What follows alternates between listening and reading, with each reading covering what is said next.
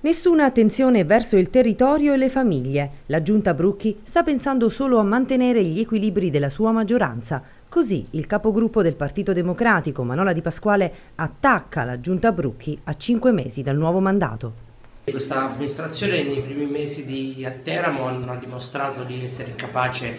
ad amministrare ma soprattutto di pensare esclusivamente agli equilibri politici della maggioranza che governa a discapito della città ma soprattutto delle famiglie perché le prime cose più importanti fatte in questo inizio di amministrazione riguardano sicuramente l'applicazione della tasi e il fatto di non aver previsto delle detrazioni per figlio così che oggi questa tassa sarà più alta rispetto all'IMU del 2012 per le famiglie più numerose così come può essere seguito un aumento molto evidente della mensa delle scuole e del pulmino e questo dimostra proprio come non vi è un minimo di attenzione verso il territorio che anzi è in difficoltà, sia per numero di disoccupati per aziende che chiudono, che sia nei confronti delle famiglie dove c'è necessità che entrambi i genitori debbano lavorare perché non si riesce se no a dare una risposta ai problemi della famiglia. Ecco, l'amministrazione Brucchi dimentica tutto questo perché deve solamente mantenere gli equilibri della sua maggioranza. Ha fatto dei tagli degli aumenti,